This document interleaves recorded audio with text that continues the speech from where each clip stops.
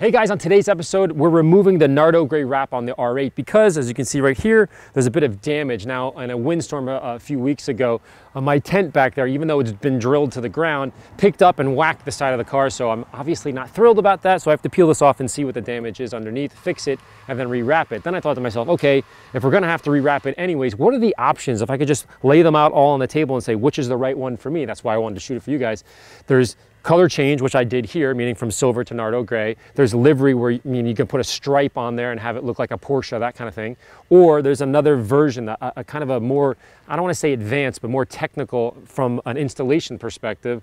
And that's a design, and then on top of the design, a laminate, meaning you can have gloss or matte. So I've decided to do that. To do that, we're, we're flying up to Toronto to see an amazing shop that specializes in something like this. So we're gonna go through all that and kind of lay out all the options and say like, hey, if I have my car and I wanna change the color, I wanna do something funky, I wanna own the design and have a little bit of fun, uh, what are the options to do that? So that's what this video is about today. So that and a lot more on this episode of Drive and Protect.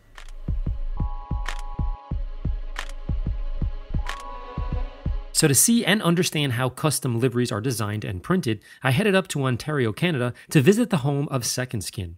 These guys design, print, and install everything from glow in the dark vehicle wraps to one off pictures and textured wall coverings. Pretty much anything you can think of can be designed and printed here. All right, so this is essentially what we like to call the design den. This is essentially where the magic happens. Yeah. So, you know, we, we do full prints here, full designs. Uh, this is where a lot of the background stuff happens that a lot of people don't see. Uh, this wall, for example, is a beautiful picture of kind of what is the process behind start to finish creating a, a custom wrap. Uh, so it essentially starts with the idea, and we've kind of chosen the story of one of our first ideas, what kind of helped us bring our name into the industry, um, which is now you'll see in the design, which is a little Nyan cat on a Pop Tart. Uh, it was a funny little meme, uh, but it was for one of our clients called Deadmau5, and uh, we essentially created his Ferrari into a Nyan cat themed Ferrari. Um, and you'll see that where it goes from design into the print, where we've actually like printed the, the concept. Uh, you, you'll see that there's this car in white. So essentially, that's where the installation happens. Right. So now we're installing the vinyl, we're doing the whole design concept. Now actually installing this design, it's not so easy. It's not just like, okay, well, A goes to A and B goes to B. Right. Uh, a little bit of an artistic skill that's involved. You know, you're not just randomly slapping stuff everywhere. You got to actually put a little bit of thought and design concept. You could put a star here and a star here, but you know, kind of having a little formula to your your method is what creates the art at the end of the day. On that note, from a customer perspective, I wanted to know what are the different wrap options and the level of difficulty for installing each of them. The, I guess the first kind of wrap would just be your basic roof wrap. You know, your, your roof wrap, your mirror wrap, your accent wrap. Uh, it's a very simple, like basic partial concept, but it still change the color of that particular spot. Exactly, it still adds a design element to the car. You know, a black roof makes it more aggressive. Uh, the second most difficult, the second style would be just a full color change. Uh, you're already getting into expert level territory with this wrap mm-hmm. uh, because you know a full color change has a lot of difficulties on its own. Every car is different. Every car comes apart differently. Every car has to be wrapped differently. Every car's got different recesses, uh, concaves. Uh, it just it adds to the complexity of the actual wrap itself. Um, then you get into something like this, which is more of a livery design.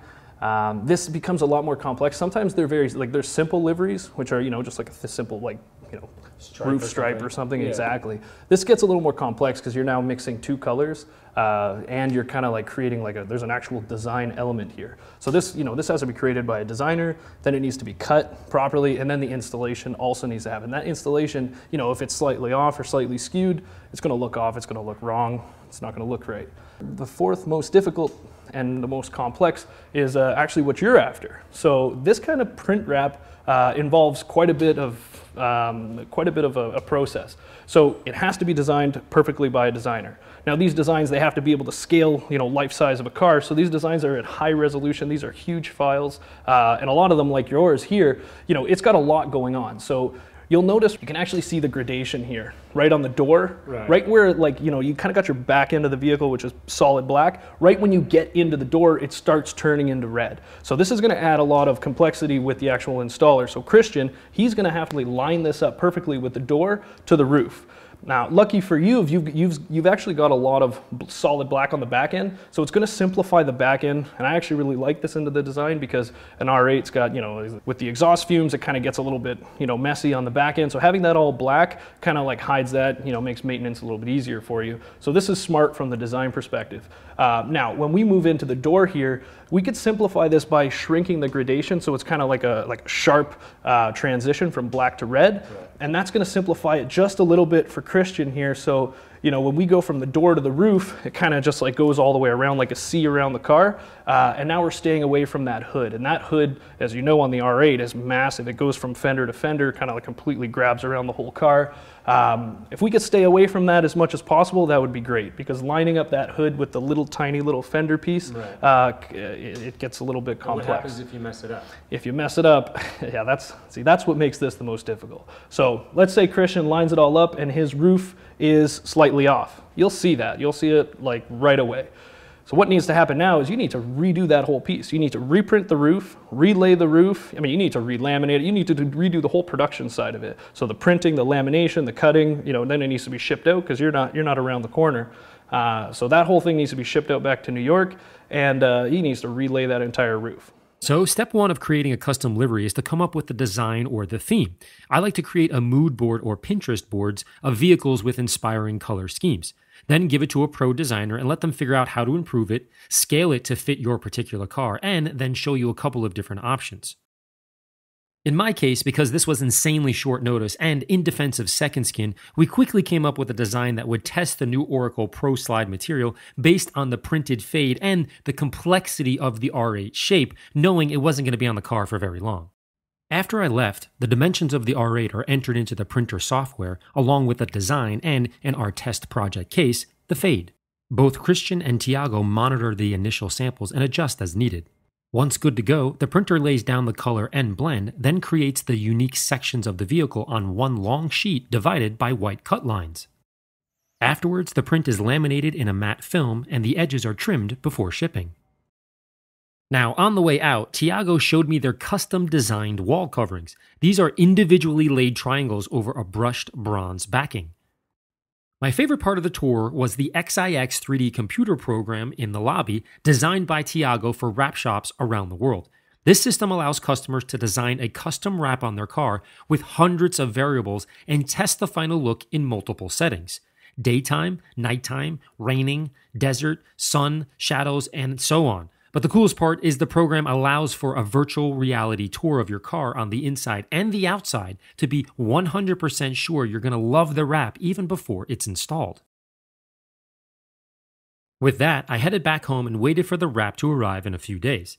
In the meantime, I prepared for Christian's arrival by washing the R8 and the Nardo wrap thoroughly. Now, I did this not necessarily to make the old wrap shiny, but to dislodge any trapped dirt from the seams and tight spaces prior to removing it and prepping for the new installation. I first power washed the wheels, applied plum with an aerator, allowed it to sit for 20 seconds, used a wheel woolie starting from the top to the bottom, wheel brushed the lug nuts, rinsed again, and moved to the next wheel. Next, I power washed the wrap, but really focused on all the seams or panel gaps to blow out any dirt that would inevitably fall out during the install and cause imperfections or pimples in the final product. Now, trust me, this is not overkill. Take your time here. Then I foamed the wrap and used a soapy microfiber towel and clean brush to agitate the tight spots around the R8, followed up by another heavy rinse and eventual microfiber towel dry before pulling inside to blow out all the seams with water. Remember, we're going to install a vinyl wrap and not a clear bra. Wraps do not use water or lubrication, unlike clear bras, so we must have all the water removed to avoid adhesion issues later on. Next, Christian and I jacked up the R8 and removed all the wheels to have easy access to the fender liners and bolts that hold both the front and the rear bumpers in place. Then he removed the 3M double sided tape by gently sliding a plastic wedge tool under the badge and did the same thing for the front Audi rings. Now we needed to remove the Nardo wrap and started with the upper rear bumper, which, if you remember, had the ammo logo underneath it. With a little bit of heat and pulling, the wrap peels off, revealing the original protected paint below, and in this case, the decal as well. Next, I wanted to see how well the wrap protected the corner panel from the tent bump. It was hard to see what was actually damaged or if it was just glue until he removed the wrap completely. As you can see, 80% of the impact was absorbed by the vinyl, and the dark impact areas was actually glue residue easily removed with his finger and just a little bit of heat. Just for a point of reference, a clear bra would have probably absorbed about 99% of this particular impact, while the wrap only absorbed about 80%, which is still pretty good since protection is not wrap's primary purpose. Nonetheless, I was happy and I could polish out the remaining scuffs and be back good as new. From there, it took two guys about one hour to remove the remaining wrap on the R8. Next step, you guessed it, disassembly. 10,000 bolts later, the front bumper was off, the rear bumper was off, then the mirrors, door handles, the headlights were removed from the car, and the same thing for the taillights. But we brought in some reinforcement help based on the complexity of this particular style wrap, and we all wanted to practice with this new Oracal material. The first step before installing the wrap is to mask off the surrounding edges with 3M's 301 Plus tape. We did this in case a blade is later needed in this area. Before the film is applied, one last isopropyl alcohol wipe down is done, especially on the edges, to pick up any remaining glue left from the previous wrap. Afterwards, knifeless tape is pre placed along the window seams while we waited for the garage to warm up so the surface temp of 68 to about 72 degrees can be met for optimal installation. Looking back on this now, I should have washed the car with warm water to help avoid the temperature drop from the earlier wash, but I didn't know this was a concern, so lesson learned for next time. Once we got up to temp, Christian used compressed air one last time before taping the wrapped pieces into place. Each piece needs to be carefully measured and placed in a specific location. Unlike a straight color change where every piece of film can go anywhere on the car, here each piece was measured, placed, checked, double checked, taped, moved, and retaped, and so on until he was a thousand percent satisfied to avoid a reprint and a massive delay. This is why it's super helpful to have a second hand when installing a custom print wrap.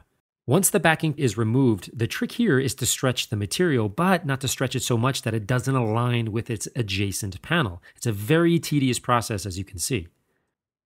Once down, the film is squeegeed, heated, stretched, and cut where necessary. Then the knifeless tape is pulled up, creating a perfect edge that can be tucked under the window frame edge. Next, the roof film is put in place to match the fade on the door. Then it's stretched, heated, squeegeed, and knifeless once again for a perfect edge. Once the fade was done, both the back and the front are slightly easier to install because they're just a solid color change. In the R8's case, the rear is just a matte black and it goes on without an issue. However, the rear bumper is a bit more complicated and needs the exhaust tips and the black louvers removed before lightly mounting back onto the car with one or two bolts. This is done to allow Christian and Tom to pull and stretch the film without having the plastic bumper wiggle or slide around during the process. Once we were about 50% through with the installation process of the new material, I asked Christian if he sees any difference from my original film to this new material. So the car's coming out amazing, and here's why. Last year we used a gloss film, we used a different brand, and what happens is, is there's air channels in all of these films. These are color changing films, and we don't have to use a solution behind it. So there's air channels that run all the way down to all the ends. What happens is, is after, is after a period of time and a certain amount of heat, the air channels with tension tend to fold over each other, and they collapse essentially. This creates adhesive buildup and then causes some glue lines. Happens in many different ways.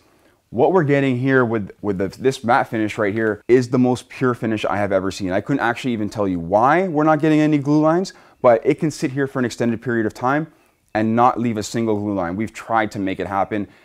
In the end, the glue lines are our Achilles heel. They drive us nuts, they drive everyone else nuts, and they make the finish not look as good as it could. This, on the other hand, we don't have to worry about it at all. We're getting a spectacular finish on this R8. After a few more hours, the pillars were matched to the door and the roof and the rear lower quarter was installed on the driver's side. But I noticed a difference in the wrap's matte finish halfway between the panel in sort of a diagonal line from front to back. So we just finished up this panel and we noticed that there's a line. So what happened was we cut this line here a little tiny bit too short. So what we did was pick the bottom part up right about here, which is pretty cool that it's right on the line that we started stretching it on. And we've re repositioned it and we heated it up a little bit, stretched it over. But when we stretched it over, that matte film, which is common with the matte, you stretch a little bit too far and it gives it that shininess. So the shininess is pretty much overstretching the film and it's exactly where we stretched it. But we didn't notice it until I stood up and looked at a different light. So easily, we're just going to peel it off, put a new piece on, and it'll be a wrap. So let's break this down a bit further. Now, for the purposes of demonstration, think of matte finish similar to mountains or a mountain range with lots of peaks and valleys, while gloss paint as the desert or flat ocean. Now, the mountains trap the sunlight, causing a more matte or dull reflection, while the ocean or gloss finish reflects the light. It bounces off the surface, giving it a shiny look. However, by overstretching the mountains, or in this case, the wrap, you make the spaces between the peaks and valleys wider and thus more reflective. Clearly, you can see the distinctive line of overstretched shininess and unstretched or closely packed together matte mountains above it. After watching and learning a ton on this very minor mistake, I asked Christian what's the number one pitfall installers make when applying a wrap? There's basically two things that you have to worry about that are usually my concern. One is overstretching, and then the second one is stretching in a way so that we can alleviate the tension on the edges. First, I'll show you the overstretching. So what happens is a lot of people will get into the end of the panel, and this is obviously a small scale. So we'll anchor this down, we'll heat it up, we're gonna take some stretch here with the film because here on the end of the hood, we're gonna end up with a lot of bunched up film normally. So we're gonna take it and stretch it, okay? We're gonna take it, stretch it to the edge. It all looks good, right? So we'll kind of lock it in right there. Right? Yep. Now what happens here if we cut this area and we're gonna trim it off, just say, you know, we wanna finish up the hood. Good, wrap it around what's going to happen is, look, you add heat, and all of a sudden the vinyl wants to pull back. Now I can show this again. If, since Larry has PPF on his hood, we can do a small cut right through the middle here. No. Right, and you can already see it separating. Oh yeah. I don't even have to add heat. That's tension on the film. Tension through here. tension through this whole area that I stretched. So now it's going to go both ways. Oh, that's awesome. right? What we want to do is pull along the edge always. So if we pull along the edge, which means we get into a position where we have to get rid of some slack, we have to take the film and pull it across the edge. As you see me do that, I don't even have to add heat. You can see the film start to curl underneath. This, ma- this ensures that the film cannot pull back this way. If I add heat to the edge, it actually wants to curl underneath. Right? And it's essentially we're shrink wrapping the panels. Makes a massive difference. So is there tension through here? Well, of course there's tension through here still. Because we stretch through here. So it will separate through there if we do a cut, but we're not going to be doing a cut in the middle of the hood like that. You're to add heat, that's what's going to happen. It's all about where you're applying the tension. We put the tension through here. s- This way we can run it across the edge here. Yes, there is tension across this edge, but it makes the vinyl want to pull in and underneath.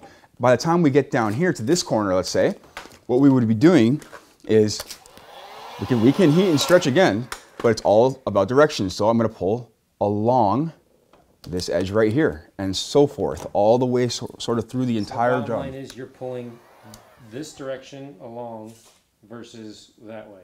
Exactly. Going. So what is that? I'm not pulling to the edge, Right. I'm pulling across the edge.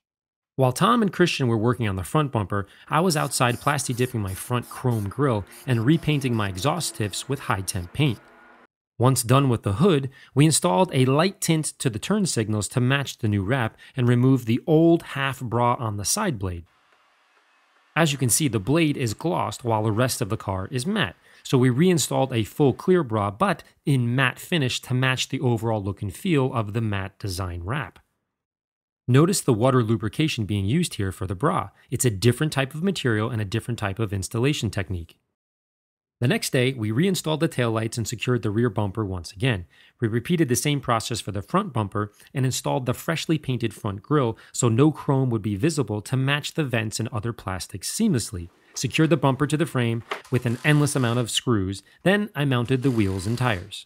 As a final step, Christian tinted the back lenses to match with the rest of the car in under 5 minutes, placed the dipped Audi rings on the front, and then signed my plate mounted bracket for good luck.